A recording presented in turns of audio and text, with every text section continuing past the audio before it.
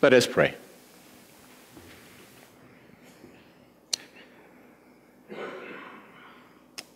Almighty God, we give you thanks and praise for your word, which you watch over to perform. We thank you for your promise that your word will not return to you void and empty, that it will indeed accomplish the purposes for which you send it. Holy Spirit, we pray that you make it so among us today. We ask this in the name of the Father, the Son, and the Holy Spirit. Amen.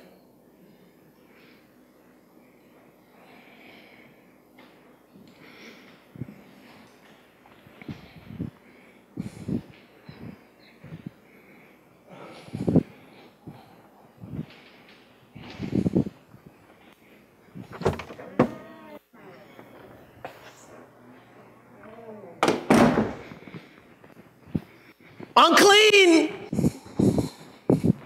Unclean!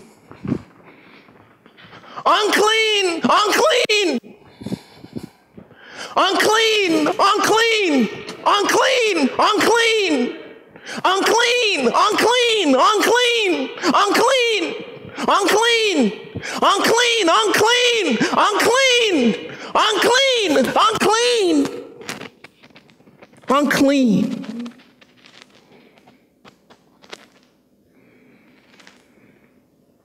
Lord, I know that you are powerful. But if you want to, make me well. Make me clean.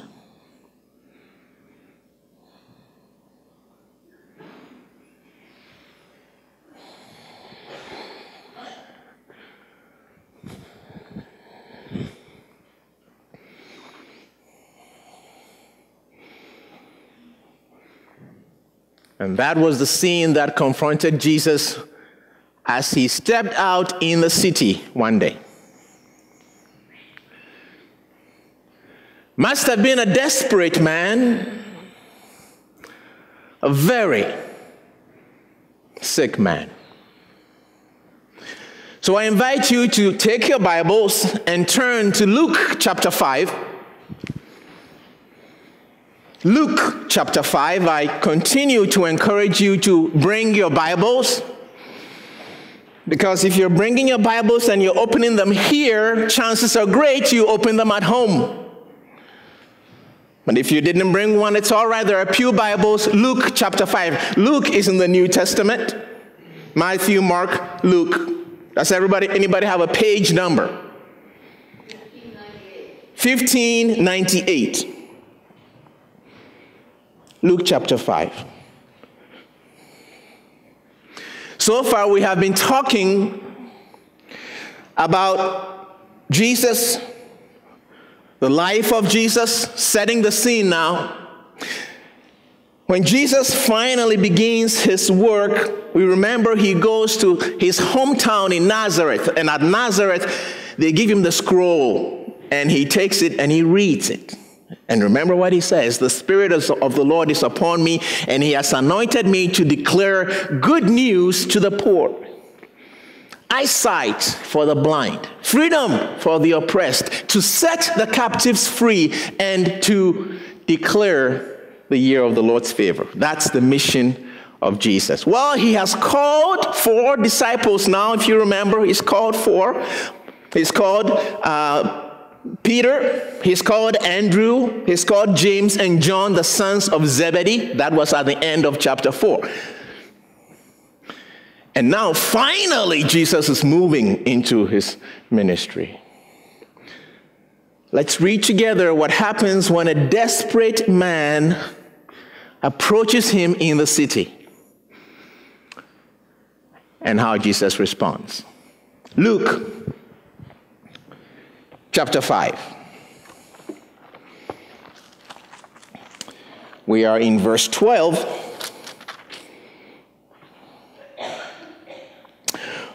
Once, when Jesus was in one of the cities, there was a man covered with leprosy. When he saw Jesus, he bowed to his face to the ground and begged him, Lord, if you choose, you can make me clean. Then Jesus stretched out his hand, touched him, and said, I do choose, be made clean. And immediately the leprosy left him. And Jesus ordered him to tell no one. Go, he said, and show yourself to the priest. And as Moses commanded, make an offering for your cleansing for a testimony to them. But now, when every word, when everyone heard about Jesus spread abroad, many crowd would gather to hear him and to be cured of their diseases. But he, Jesus, would withdraw to a deserted place and pray. The word of the Lord. Been thinking about this text now for a little while, and today I want to I want to just remind us of our mission statement, which is to love God, know Christ, care for one another, and joyfully share the good news of Jesus Christ. And that joyfully share the good news of Jesus Christ says out loud that we are people who want to join with Jesus in his mission. Right? We said we want to join with Jesus in his mission. And in order to participate in that mission, this text gives us a few things to think about.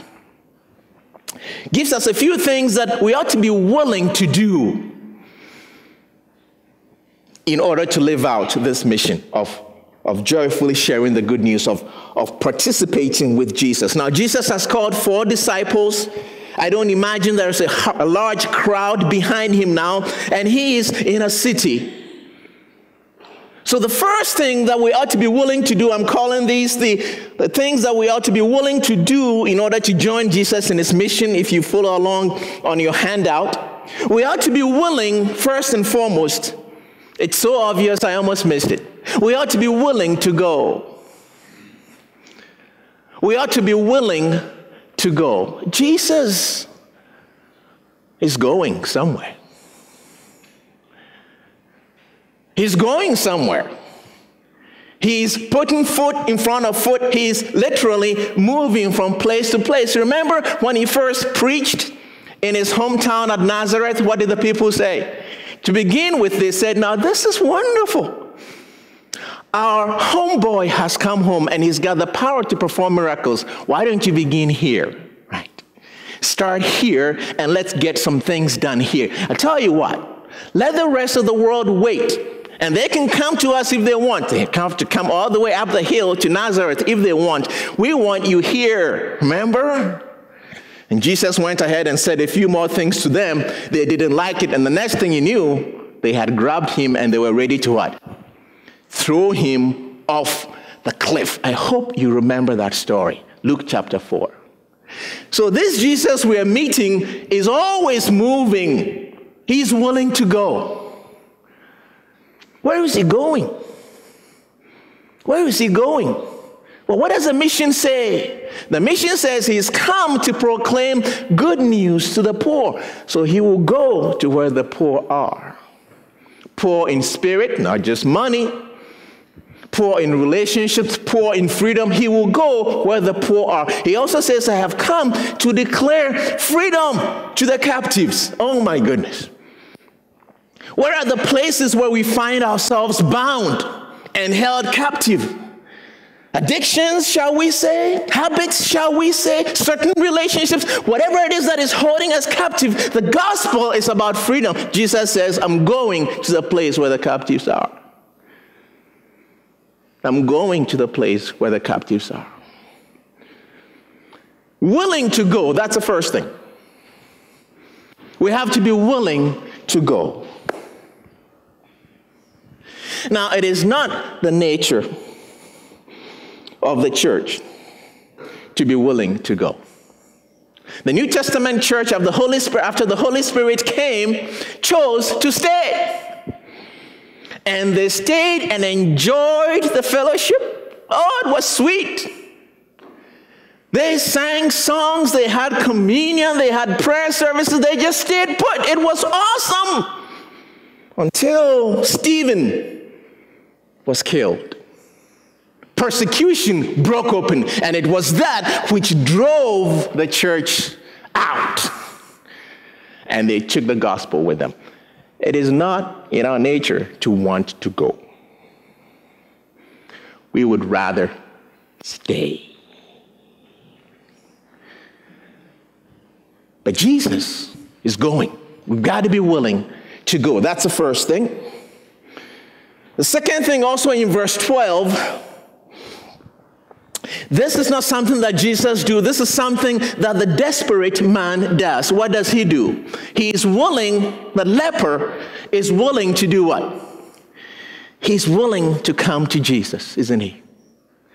He is willing to come to Jesus in his desperation. And when he comes to Jesus, listen to what he says. He doesn't say that I have heard that you're powerful, please make me well. That's not what he says. He says that if you will, please cleanse me. Now, cleansing is not the same as healing. The Greek is very clear. It's a very different word between cleansing and healing. Why? All the testaments say they use this word, cleanse me. Why? Rather than heal me. See, Luke is careful. Luke is a doctor, as you remember. And Luke is careful to let us know that the man was covered with leprosy. He didn't just get sick last night.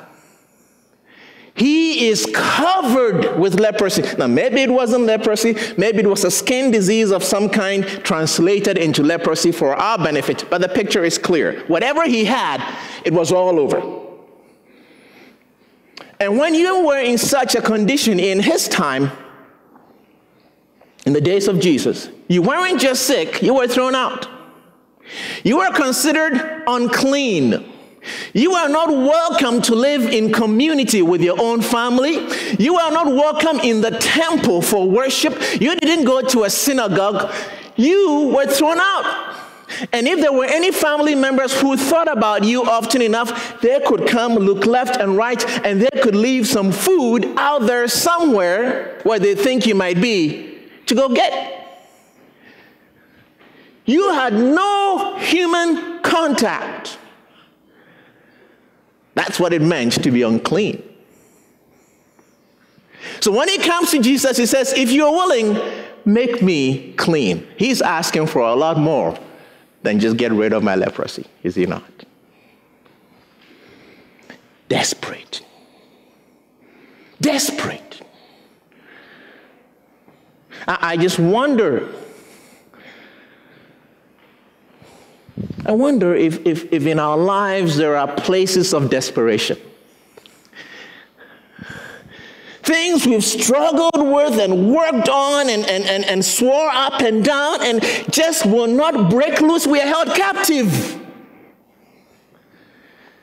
The gospel is about freedom. And that's what Jesus is about. So, our second willingness is the willingness, like the leper, to come to Jesus in our desperation. A willingness to come in our desperation. Third willingness as we continue on. Oh my goodness. The passage is very clear that this man comes close enough to Jesus, but there's something he doesn't do. You notice? He comes close enough. People are parting as he comes through because you don't want to touch him. The man is unclean. But he comes close enough, he bows down before Jesus' face on the ground, but he does not touch Jesus. Why? Because an unclean person touching a clean person makes a clean person unclean. That's how it works. That's why you keep your distance. And you carry a bell around your, your, your, uh, your midsection so the bell jingles when people hear you're coming and they, they get out of the way. So he's close enough to Jesus, but he doesn't touch Jesus. Jesus could have healed him with a word. He could have healed him with a word. He does it. Sometimes he heals from a distance. Somebody in another town, he says, Your daughter will be well, and it happens. Why does Jesus stretch out his hand and what? And touch him? Why? There's a message there, I think. There's a message there. There's a message there in that touch. Luke doesn't tell us why, but Mark does. So I looked up Mark. Mark, telling the same story. Why does Jesus touch him? Mark says, Jesus, moved with pity, stretched out his hand and touched the man and healed him. Pity. Well, I don't know how I feel about pity. I don't know how I feel about pity. So I looked up the Greek. The root word of pity, guess what it is? It's not compassion, it's anger. Anger. Jesus is ticked off. He's looking at this man in front of him, held hostage and bound by this disease and the entire system that has thrown him out, and Jesus is ticked off. And so while he could have healed him with just a word, he decides to push the system and intentionally reaches out his hand and touches him. he is willing to be deeply moved by somebody else's situation. Deeply moved by somebody else's situation. Oh, there was a terrible fire in that house, and we hear about it, and oh my gosh, that's just too bad. That really is too bad. And that's about the extent of it. Deeply moved deeply moved. Got to be willing to be deeply moved. So Jesus is willing to go, number one, got to be willing to go. Number two, the desperate man is willing to come to Jesus, got to be willing to come to Jesus without desperation. Number three, willing to be moved by the plight of others. Now, this leper, Jesus tells, don't say a word to a soul. Says right there. Don't say a word to a soul. And apparently he didn't listen. Jesus did not suggest to him, don't say a word to a soul. It says he was ordered, he was commanded very clearly, don't say a word to a soul. What he ought to do is go up the hill to the home of the priest, and when you get there, present yourself to the priest.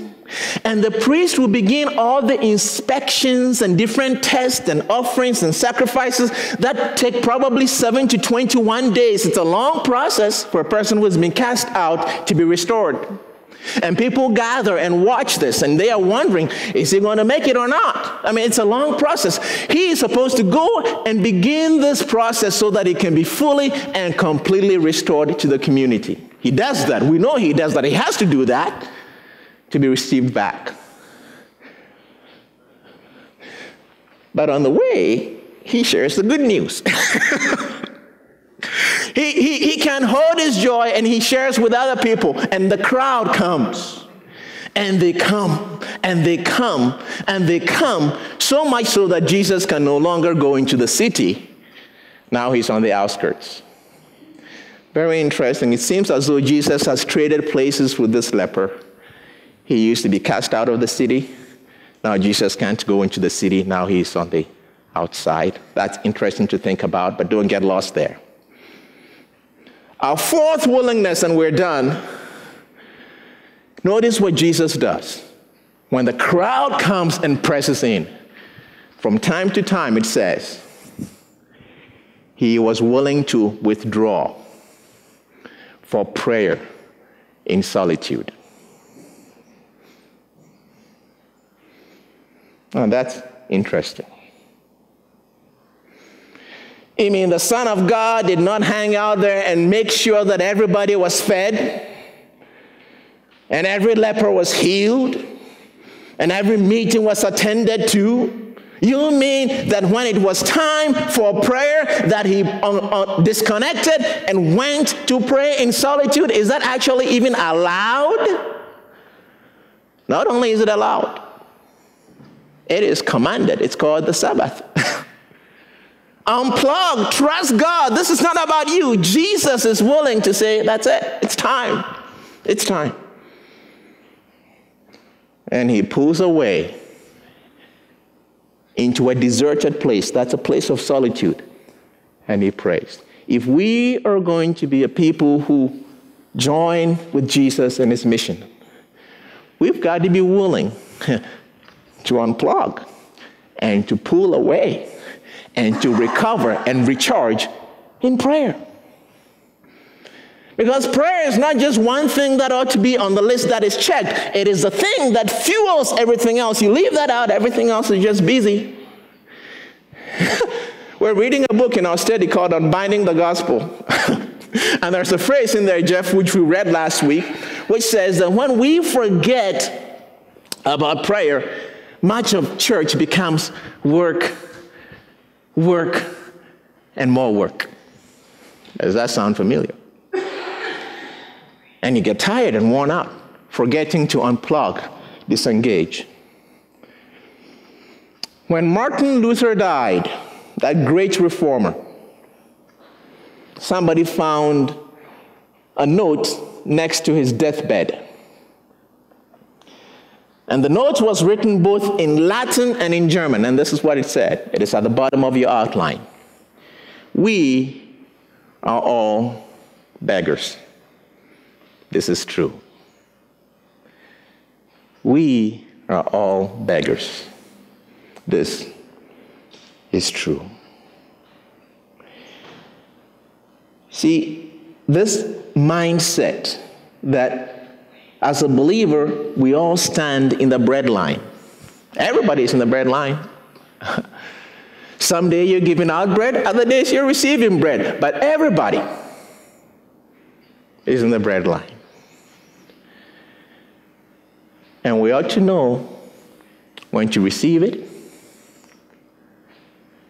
and when to give it. But in humility and gentleness, we are all in the same bread line. Holy God, I don't know where everybody is today. But for those among us who have not yet in some way connected with you so that this makes some sense.